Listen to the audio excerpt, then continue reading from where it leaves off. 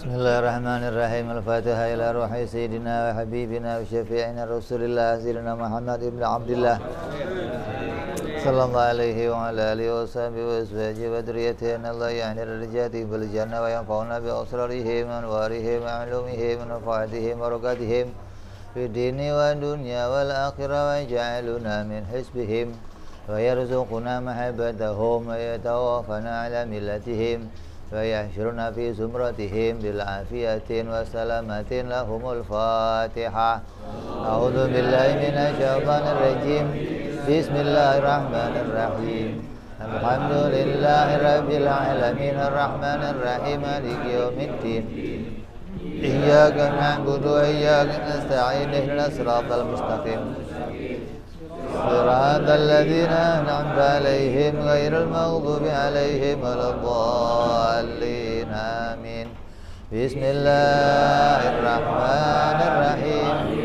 نويت تعلما وتعليما وتذكرا وتذكيرا ونفعا والانتفاعا والإفادة والإستفادة والحث على التمسك بكتاب الله وسنة رسول الله صلى الله عليه وسلم ودعاء إلى الهدى والدلالة على الخير ابتغاء مرضاته وقربه وثوابه وحسن الخاتمة مع اللطف والعافية وصلاح العاقبة. Bismillahirrahmanirrahim. Alhamdulillahirrabbilalamin. Wassalatu wassalamu ala ashrafil anbiya'i wal mursalin. Sayyidina wa habibina wa syafi'ina wa maulana Muhammadin. Sallallahu alaihi wa ala alihi wa sahbihi ajma'in amma ba'du.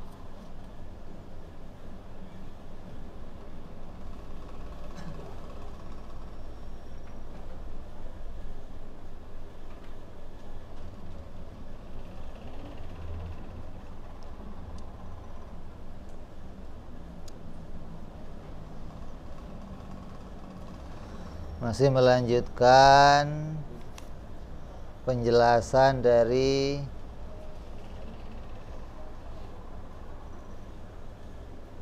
perkataan Syekh Ibrahim Al-Qani. Wa arsyadal khalqa lidinil haqqi summa bisayfihi wa hadihi lil haqqi. Muhammadun al-aqib li rusli rabbih wa alihi wa sahbihi wa hizbihi. Kemarin sudah kita bicarakan tentang keluarga Nabi ada tiga macam. Ada keluarga yang maknanya pada makom madah atau pujian. Ada keluarga pada makom doa. Ada keluarga pada makom zakat.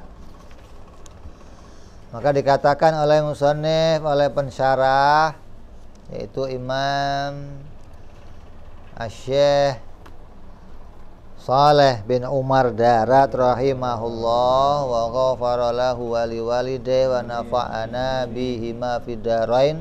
Qulubana futuhal arifin wa bihikmatika wansur alaina birahmatika ya arhamar rahimin. Beliau mengatakan ketika segenap orang mukmin wajib mencintai, menghormati dan memuliakan ahlul bait walaupun secara lahir mereka melakukan maksiat kita semua wajib berprasangka baik kepada ahlul baitnya Rasulullah Sallallahu Alaihi Wasallam. Jadi kalau kamu mau mengikuti, mau menjadikannya panutan, maka ya cari yang benar, cari yang lurus, cari yang sesuai dengan syariahnya Nabi Muhammad Sallallahu Alaihi Wasallam.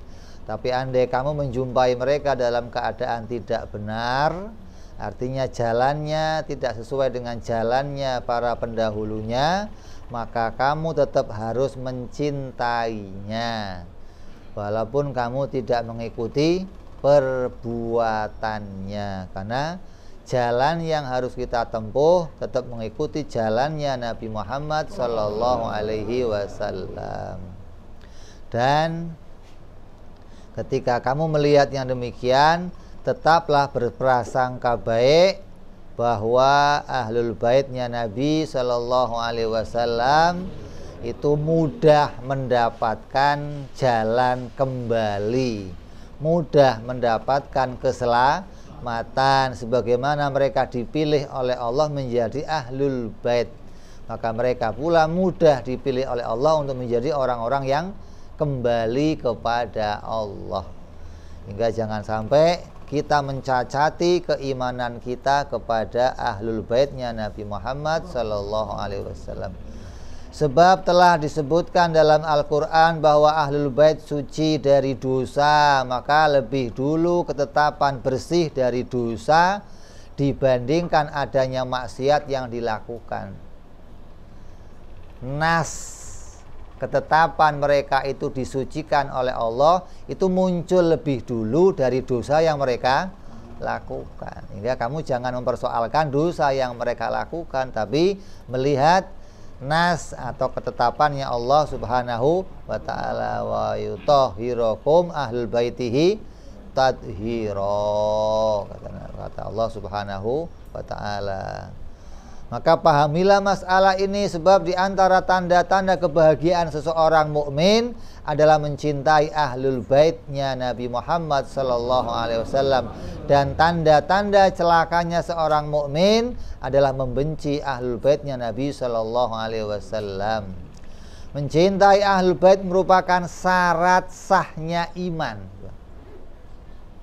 Mencintai ahlul bait merupakan syarat sahnya iman. Hal ini berdasarkan sabdanya Nabi Muhammad SAW yang diriwayatkan oleh Imam Al Baihaqi yang beliau mengatakan la yu'minu abdun hatta akuna ahabu ilaihi min nafsi wa takunu ijrati ahabba ilaihi min nafsi wa takunu ahli ahabba ilaihi min nafsihi wa takunu dzati ahabba ilaihi min nafsihi. Kata Rasul sallallahu alaihi wasallam tidaklah sempurna iman seseorang sehingga kecintaannya kepadaku melebihi kecintaannya pada dirinya sendiri. Kecintaannya kepada keluargaku melebihi dia mencintai dirinya sendiri. Dan zatku lebih dia cintai dibandingkan zatnya sendiri ini hadis Nabi riwayat Imam Baihaqi. Nabi juga bersabda, "Adibu auladakum ala thalathatil hisal, hubbu nabiyikum wa hubbi ali baitihi wa tilawatil Qur'an." Kata Rasul, ajarkanlah anak kalian tiga perkara. Yang pertama mencintai nabi kalian, yang kedua mencintai kepada keluarga nabi kalian, dan yang ketiga mencintai membaca Al-Qur'an. Ini hadis yang jelas menunjukkan betapa wajibnya kita mencintai keluarganya Nabi Muhammad Sallallahu Alaihi Wasallam. Bahkan kalau ada seorang yang mati dalam keadaan benci sama ahlul baitnya Nabi, walaupun dia ahli haji, dia ahli zakat, dia ahli puasa, ketika dikubur tinggalkan orang-orang pulang kamu gali kuburnya wajahnya membelakangi kiblat. Walaupun ketika dikubur kamu hadapkan dia ke kiblat. Ketika dia mati dalam keadaan benci ahlul baitnya Nabi benci keluarga Nabi maka dia dikubur tutup kuburnya pulang orang kamu gali kembali kamu akan lihat wajahnya membelakangi kiblat dan nanti di akhirat akan ada rombongan kecil yang isinya orang-orang yang cinta sama keluarganya Nabi berjalan bersama-sama keluarganya Rasulullah Sallallahu Alaihi Wasallam. Mudah-mudahan kita bagian dari keluarga tersebut. Dikatakan apa? Dikatakan safinati perahuku seperti perahunya Nabi Nuh alaihissalam. Siapa yang menaikinya maka dia akan selamat. Siapa yang meninggalkannya dia akan celaka. Maka itulah ahlul baitku kata Nabi Muhammad Sallallahu Alaihi Wasallam. Maka jangan tinggalkan mereka. Jangan pisahkan diri dari mereka. Caranya gimana? Kalau mau mengikuti, cari yang benar. Kalau mereka nggak benar, cukup kita mul ya kan cukup kita cintai tapi tidak kita ikuti tindakannya kalau Mbah belum Mbah Maimun Zubair almarhum gambarinnya pakai Al-Qur'an. Kalau kamu mau baca Al-Qur'an ya baca Quran yang normal, yang masih utuh, yang tulisannya gede-gede jelas bisa dibaca. Kalau Quran sudah sobek, udah patah, udah tinggal separuh, ya jangan dibaca. Terus cukup kamu simpan, kamu kasih minyak, kamu mul ya dimakan, jangan dibuang. Itulah ahlul baitnya Nabi Shallallahu Alaihi Wasallam.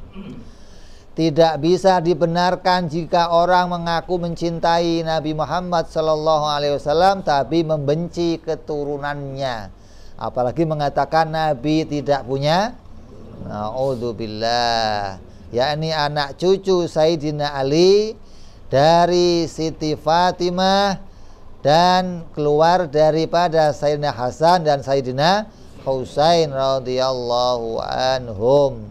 Wahai saudaraku, jangan sekali-kali engkau menghina atau menyusahkan ahlul bait. Hormati dan muliakanlah walaupun secara lahir mereka melakukan maksiat karena mungkin saja saat mendekati ajalnya mereka diberikan jalan taubat oleh Allah dan taubatnya diterima maka matinya mereka dalam keadaan husnul khatimah. Adapun sabda Nabi Shallallahu Alaihi Wasallam untuk ahli baitnya yang berbunyi neraka adalah tempat bagi orang yang bermaksiat walaupun dia keturunan Bani Hashim dan surga adalah tempat bagi orang yang taat walaupun ia budak Habasyi, budak yang hitam. Hadis ini benar adanya sebagai bentuk pembelajaran Nabi kepada anak cucunya. Adapun bagi selain ahlul bait tidak boleh ikut-ikutan menyampaikan hadis itu kepada ahlul bait. Kamu kadang suka begitu orang yang punya utang sama yang ngutangin dua-duanya punya hadis ayat masing. Kadang kamu tukeran ayat yang ngutangin pakai ayatnya yang diutang. Ayat untuk yang yang memberi hutangan itu ayatnya begini. Kalau orang yang kamu utangin itu nggak mampu maka berilah waktu jeda untuk mereka. Panjangkanlah masa mereka untuk bisa bayar. Tapi yang lebih baik kamu ikhlaskan. Itu ayat buat siapa? Yang ngutangin. Jangan yang diutangin baca itu.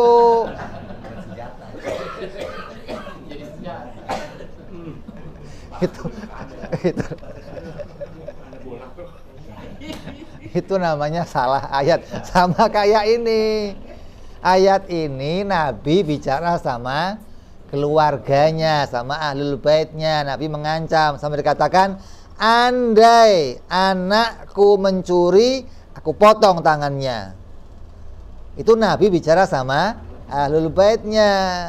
Jangan kamu ikut-ikut. Itu urusannya urusannya orang dalam urusannya tentara sama tentara Adapun bagi selain ahlul bait tidak boleh ikut-ikutan menyampaikan dan memakai hadis ini kepada ahlul bait karena itu suul ada buruknya perangai. Kita semua wajib mengikuti petunjuk Al-Qur'an yang berbunyi Innama yuridullahu liyudhiba ankum ahlal baiti wa yutahhirakum tadhira. Sungguhnya Allah berkenan. Ini bukan perintah ini. Allah berkehendak pisahkan antara kehendak dan perintah. Beda ini. Allah berkehendak menghilangkan dosa dari engkau hai ahlul bait dan membersihkan engkau sebersih-bersihnya bukan Allah memerintahkan bukan tapi Allah menghendaki. Dan kehendak Allah wajib aridhi. Adapun yang berpendapat bahwa ahlul bait adalah orang-orang yang termasuk dalam ayat innalladzina sabaqat lahum minnal husna ulaika anha mubadun bahwa orang-orang yang telah ada untuk mereka ketetapan yang baik dari kami mereka itu dijauhkan dari neraka innalladzina sabaqat lahum minnal husna Orang-orang yang telah kami tetapkan mereka itu dalam kebaikan. Di ilmuku kata Allah mereka orang baik. Nah, di ilmunya Allah udah baik, ente nggak usah ikut-ikut jelek-jelekin. Artinya ente jelek-jelekin nggak mempengaruhi ilmunya, malah ente rugi jelek-jelekin ya nggak cocok sama ilmunya Allah. Maksudnya ahlul bait adalah orang-orang yang telah ditetapkan pada azali di ilmunya Allah menjadi orang-orang yang beruntung. Maka maksiat yang dilakukan tidak merubah ketetapan itu karena di akhir hayatnya mereka akan diberikan jalan oleh Allah untuk taubat taubat itu hanya karena Allah tidak terbersit niat untuk kembali berbuat maksiat. Taubat itu betul-betul niat untuk kembali kepada Allah, mendekatkan diri kepada Allah. Kenapa? Karena dosa itu adalah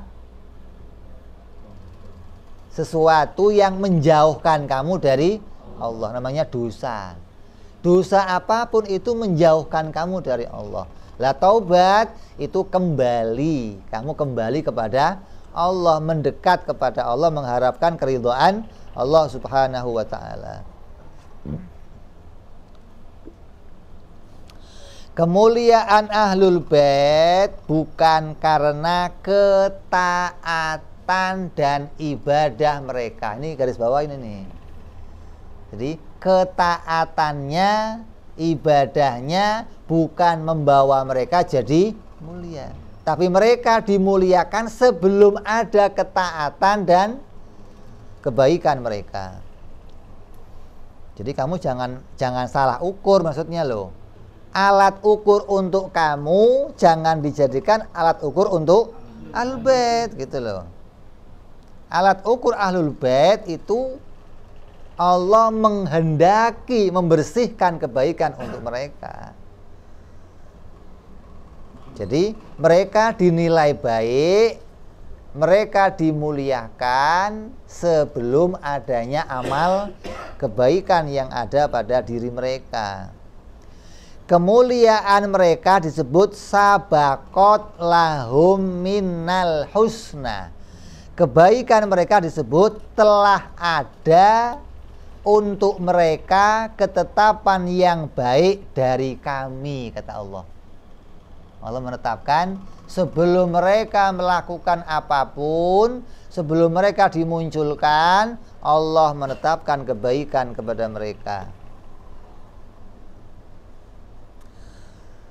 Nabi demikian halnya para sahabat Nabi Nabi bersabda, "Ya Ali, anta sayyidun fid dunya wa sayyidun fil akhirah." Wahai Ali, engkau adalah tuan di dunia dan tuan di akhirat. Ini betapa pula Nabi memuliakan sahabat-sahabatnya yang mana Nabi menunjukkan Allah memuliakan sahabat-sahabat Nabi. Allah memilihkan untuk Nabi keluarga yang baik dan sahabat yang baik. Sahabat Nabi itu dipilih oleh Allah bukan Nabi milih sahabat sendiri bukan. Allah memilihkan sahabat untuk nabinya. Kalau ada orang kok mencacati sahabat Nabi, aneh. Ketika hadis tentang ahlul bait itu disampaikan pada Sayyidina Ali, Sayyidina Ali nanya, "Ya Rasulullah, kenapa saya dan keluarga saya?" Apa jawab Nabi? Ente nggak mau. Ya nggak begitu saya cuma nanya kenapa kalau keputusannya Allah nggak ditanya kenapa. La yus'alu amma yaf'alun wa hum yus Allah itu nggak ditanya kenapa kok bikin begini, kenapa bikin begini enggak. Kamu terima nggak dengan apa yang dibikin Allah. Jadi kita wajib memuliakan keluarga Nabi yang pertama, yang kedua memuliakan sahabat-sahabatnya Rasulullah Sallallahu Alaihi Wasallam. Sabda Nabi pula Abu Bakrin wa Umar minni kasam'i wa aini fi Abu Bakar dan Umar bagiku seperti pendengaran dan penglihatan di kepalaku juga. Bagaimana ada orang kok sampai benci sama Sayyidina Abu Bakar, Sayyidina Umar. Ini sungguh aneh. Utsman bin Affan kalisani. Sayyidina Utsman seperti lisanku, fi fami dalam mulutku. Wa Ali bin Abi Thalib karuhi fi jasadi. Dan Ali, Sayyidina Ali bin Abi Thalib seperti ruh dalam jasadku. Nabi juga pernah bersabda kepada Siti Fatimah radhiyallahu an, Sayyidina Hasan dan Sayyidina Husain. Ana haribun liman harobakum salimun liman salimakum. Aku akan memerangi orang yang memerangi kalian bertiga. Dan aku akan mengayomi siapa yang mengayomi kalian bertiga. Nabi juga bersabda Allah membenci orang-orang yang menghina para sahabatku. Hati-hati nih. Orang-orang yang sukanya benci sama sahabat Nabi, benci sama ahlul bait Nabi. Siapa? Di antaranya istri-istrinya Nabi dibenci, keluarga Nabi dibenci. Ini hati-hati nih. Keburukan ahlul bait tidak menyebabkannya terputus nasab. Hati-hati nih. Jadi kamu jangan tiba-tiba, wong bait kok begitu bukan ahli bait. Loh hubungannya apa? Maksiat nggak mutusin nasab. Kamu nggak boleh mutus nasab. Allah yang menyambungkan kok kamu yang mutusin. Keburukan ahlul bait tidak menyebabkan terputusnya nasab dan tidak mencegah mereka mendapatkan hak warisan dari keluarganya. Kalau mereka dapat warisan surga, maka siapa pun yang maksiat bisa kebagian warisan. Wahai saudaraku, pahamilah masalah ini. Ini pesannya Kiai Soleh kepada kita semuanya. Jika engkau mendapatkan ujian berupa menjadi pemimpin, dan memiliki kekuasaan engkau harus minta izin kepada ahlul bait sebelum memutuskan sesuatu juga mereka bukan pemimpin tapi kalau kamu mau bikin keputusan izin permisi minta restu minta keridoan mereka. Bicaralah dengan cara yang sopan dan mintalah bimbingan Jangan malah menggurui dan merasa lebih pandai dari mereka. Janganlah engkau anggap remeh masalah ini. Sekarang udah kelihatan. Untung ada one team pressnya Habib, lumayan lah. Masih ada yang anu.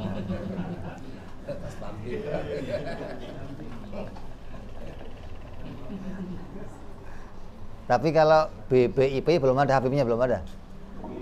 Hah? Bagian itu pembina Pancasila apa itu? Hah? Itu anti pres. bukan di BPIP juga. Bukan. Megawati ketuanya Siapa? Megawati ketuanya BPIP. Iya, kalau anti pres ketuanya. Ah, iya, mesti salah satunya ada di situ.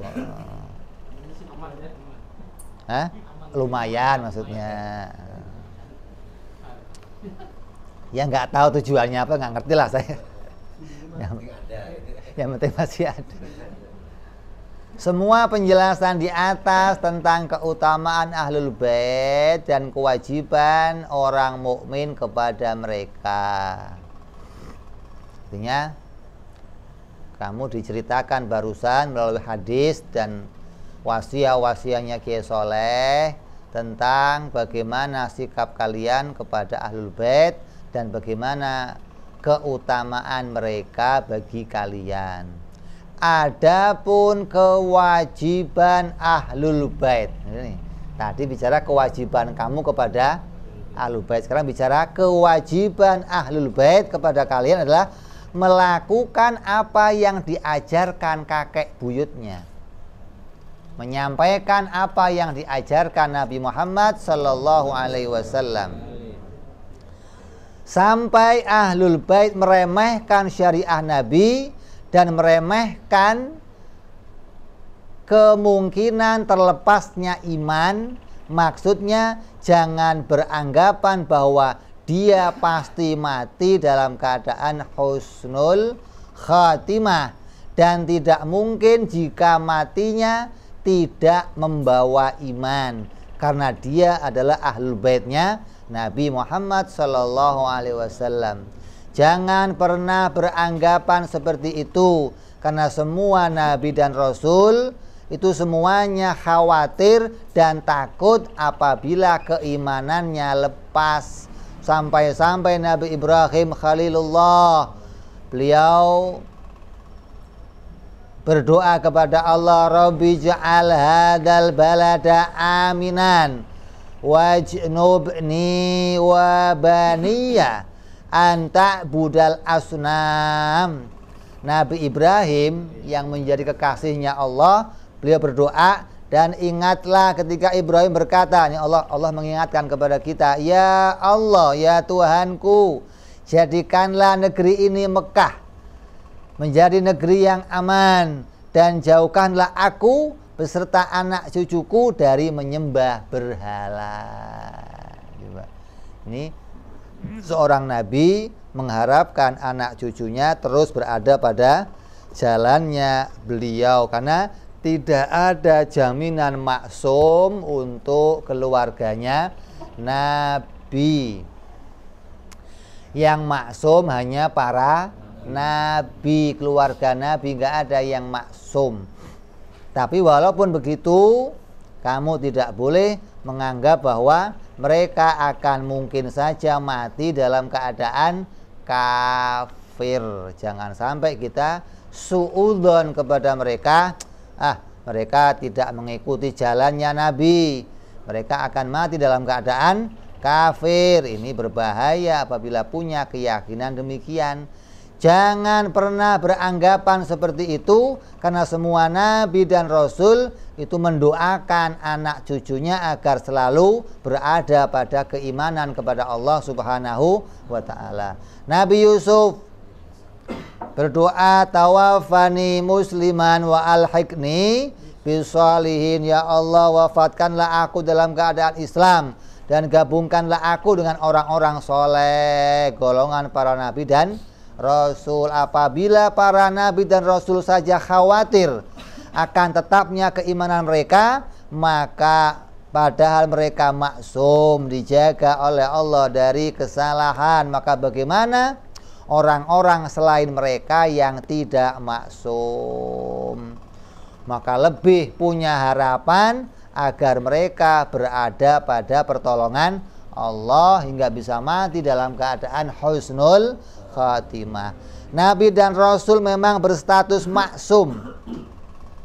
terjaga dari dosa menurut keyakinan orang mukmin tapi mereka tidak tapi mereka sama sekali tidak punya keyakinan bahwa mereka itu maksum. Karena itulah mereka semua berdoa kepada Allah agar mereka diwafatkan dalam keadaan Islam dan memohon perlindungan dari menjadi orang kafir. Ini yang diajarkan para nabi. Amalnya para nabi mengajarkan kepada kita bagaimana berdoa agar selamat dari kematian suul Fatimah minta dijauhkan dari yang demikian. Nabi Muhammad bersabda wahai Sofia. Sofia itu siapa?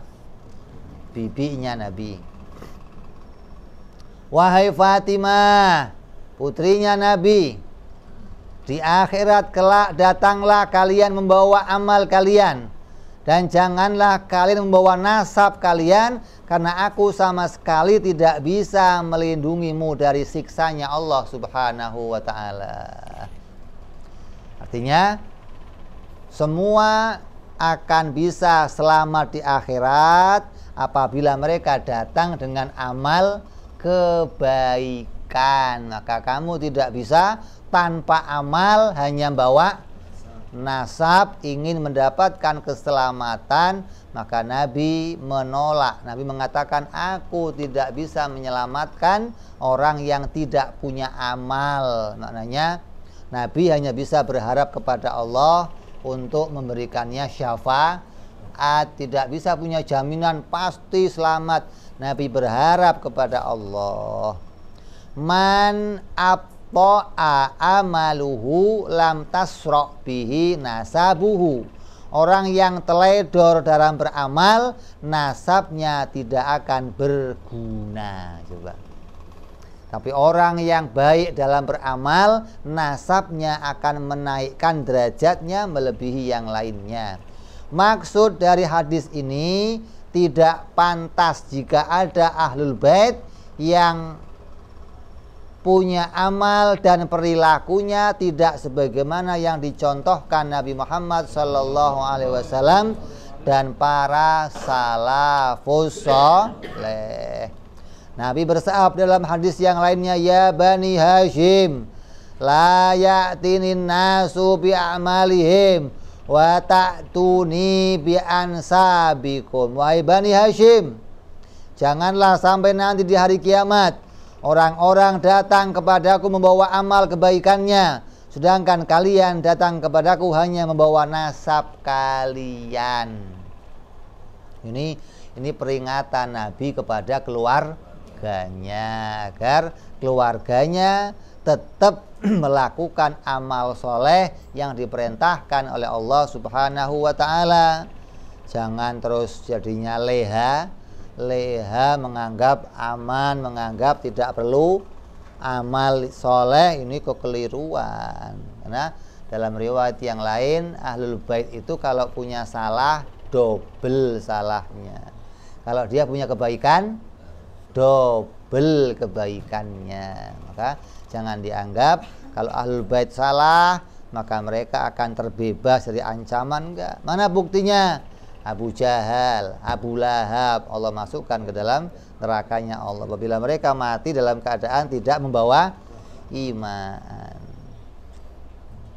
Jadi beruntung menjadi ahlul bait kalau sampai matinya bawa iman. Maka celaka apabila sampai mati tidak membawa iman.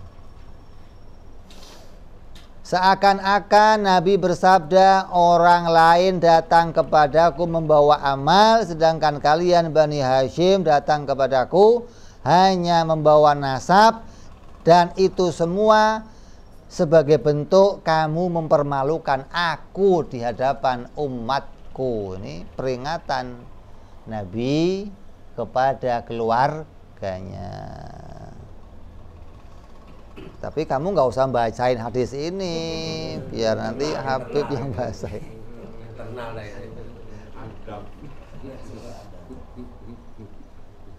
Wa an laisa lil insani illa ma sa'a. Dan bahwasannya seorang manusia tidak memperoleh selain apa yang telah diusahakannya di, du, Nia kalau usahanya baik ya alamatnya dia dapat baik. Kalau usahanya jelek maka alamatnya dia dapat jelek. Amal baik para leluhur tidak bisa memberikan manfaat sama sekali. Yang bisa memberikan manfaat hanyalah amal ibadah yang kita lakukan. Maka beribadahlah kita semua. Beribadahlah kalian, janganlah sampai kalian meninggalkan amal ibadah hanya menggantungkan nasab. Salah satu putra Nabi Nuh ada yang mati dalam keadaan kafir. Oleh karena itu beliau bertanya kepada Allah, "Wahai Allah Tuhanku, ini kan an anakku, darah dagingku. Bagaimana bisa engkau jadikan dia seperti ini mati dalam keadaan kafir?" Allah menjawab, "Ya Nuh, innahu laisa min ahlika, innahu amalun ghairu soleh." Wahai Nuh, sungguhnya dia bukanlah lagi termasuk keluargamu yang dijanjikan akan mendapat keselamatan. Kenapa? Sungguhnya dia telah melakukan perbuatan yang tidak baik. Apabila dia terkontaminasi jadi orang kafir dan tidak ada jalan untuk kembali, maka kekafirannya tidak bisa diberikan syafaat nggak bisa diberikan pertolongan maka dia akan celaka untuk selama-lamanya. Mendengar jawaban itu dari Allah, Nabi Nuh langsung sujud sampai 40 tahun lamanya beliau tidak berani mengangkat pandangannya ke langit karena malu kepada Allah Subhanahu wa taala atas ungkapannya menganggap anak itu sebagai anaknya dan minta diselamatkan oleh Allah. Bahkan kelak di badang mahsyar beliau juga masih akan merasa malu kepada Allah ketika ditanya didatangi manusia untuk minta keselamatan? Wahai Nabi Nuh tolong kami. Nafsi nafsi. Artinya Nabi Nuh tidak langsung memberikan syafaat seperti apa yang mereka minta karena ada hak lain yang lebih didahulukan yaitu Nabi Nuh tahu pemberian syafaat itu didahulukan dibuka oleh Nabi Muhammad Sallallahu Alaihi Wasallam. Maka ambillah pelajaran dari Nabi Ibrahim alaihissalam. Nabi Ibrahim ini ini kalau nggak bisa bacanya berat ini. Dikatakan di sini ayah beliau adalah kafir, tapi setelah Nur Muhammad pindah ke ibunya. Ini ini garis bawah ini. Andai ada yang mengatakan ayah Nabi Ibrahim kafir, itu berarti kekafirannya setelah nur Nabi Muhammad pindah ke rahim ibunya.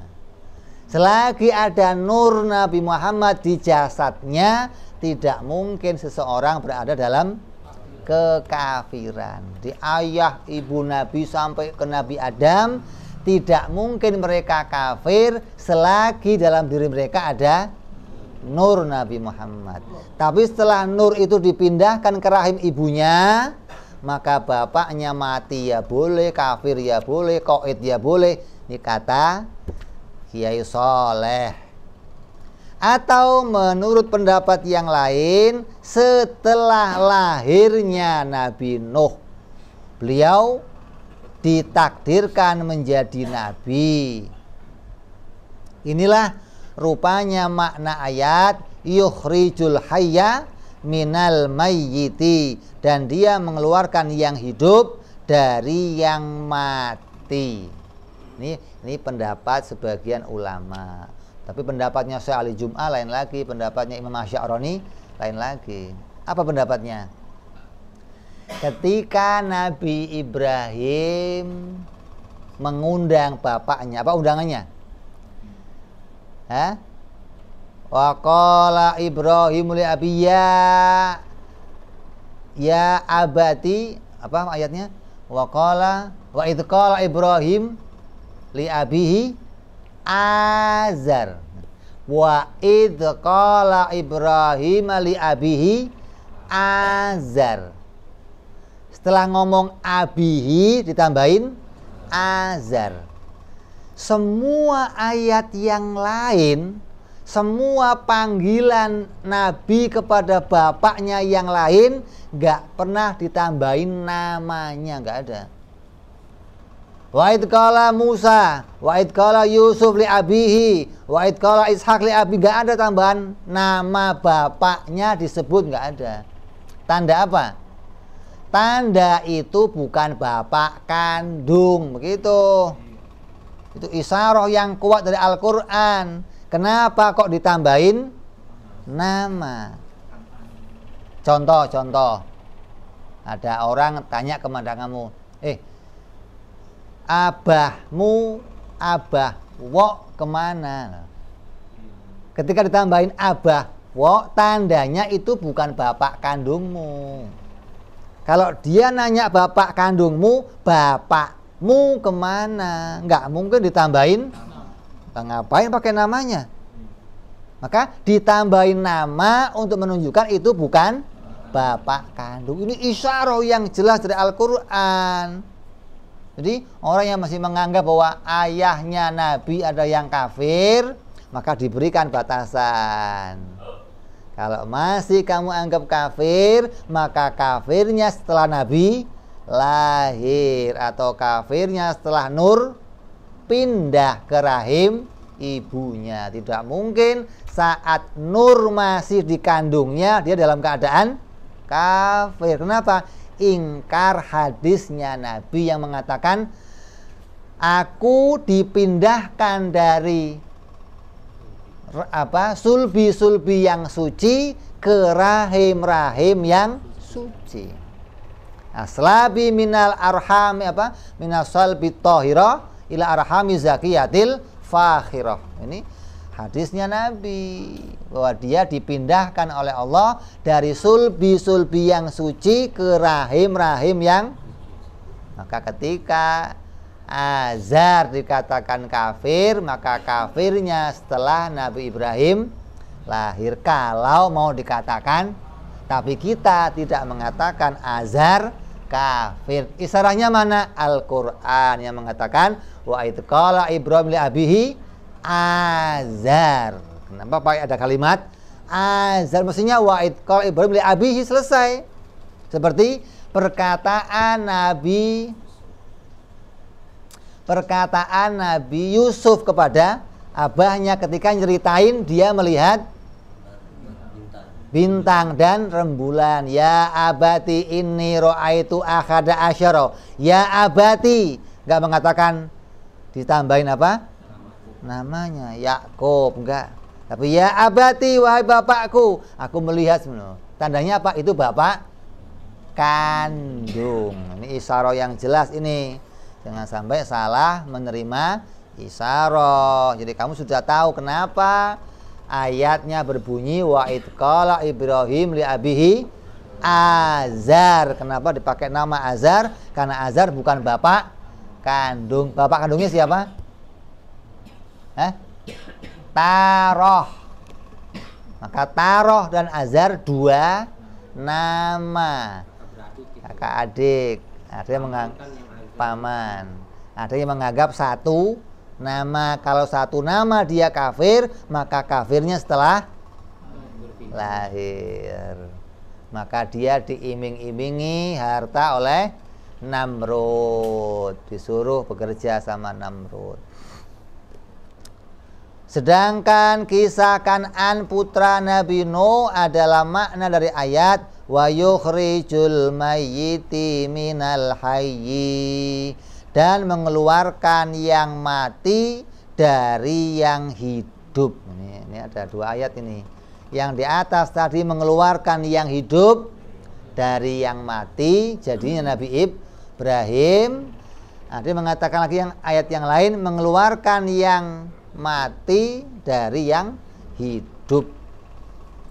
Maka itu adalah apa? Kanan dikeluarkan dari kehidupan Nabi Nuh alaihissalam Para Sayyid Ba'alawi wajib menjalankan tuntunan kakek buyutnya mereka yaitu Nabi Muhammad Sallallahu Alaihi Wasallam juga para salafun saleh. Sedangkan selain Bani Hashim wajib memuliakan ahlul bait. Jangan hanya melihat dohirnya setiap orang baik Bani Hashim maupun selainnya wajib melaksanakan dan berpegang teguh pada adabnya masing-masing sesuai tuntunan Nabi Muhammad Sallallahu Alaihi Wasallam. Oleh karena itu kita harus mengerti mana hadis yang objeknya kepada habaib dan mana hadis yang objeknya kepada umat. Pahamilah ini jangan tukeran hadis lu jangan yang cinta sama ahlul bait itu bukan cuman ahwal. Habaib itu cinta kepada habaib. Habaib itu cinta kepada darah yang ada pada dirinya sendiri. Kenapa?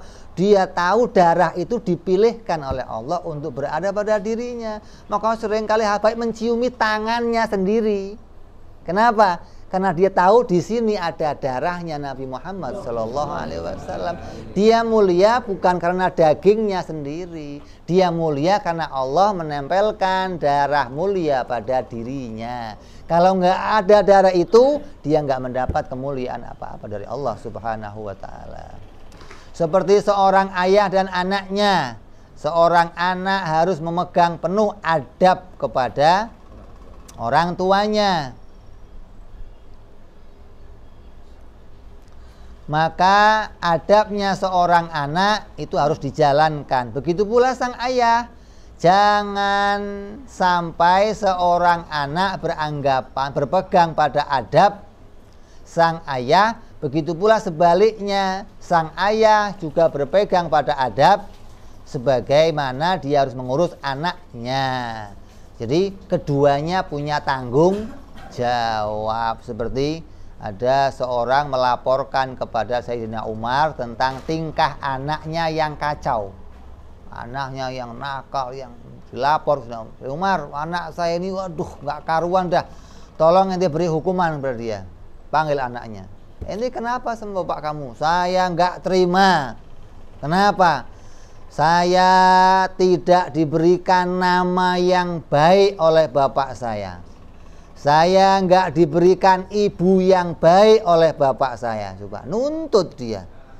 Maka Sayyidina Umar apa? Yang salah ente bapaknya, bukan anaknya. Kalau anak bersikap demikian, pantas karena dia nggak mendapatkan adab yang baik dari orang tuanya. Jadi kalau orang tua pengen dihormati anaknya, maka anak harus harus orang tua harus punya adab yang baik kepada anaknya maka anak akan memuliakan orang tuanya. Begitu pula ahlul baitnya Nabi Shallallahu Alaihi Wasallam. Kalau ahlul bait pengen dimuliakan umat maka dia harus menjaga adabnya kepada umat. Umat itu harus dimuliakan. Umat itu titipannya Rasulullah Shallallahu Alaihi Wasallam. Mereka yang memegang baju kalian untuk bisa menjadi ekor agar kalian sampai kepada kakeknya Rasulullah Shallallahu Alaihi Wasallam. Dan mereka berharap mereka terus mengikuti jalan itu. Jangan sampai kalian belokkan ke jalan yang lainnya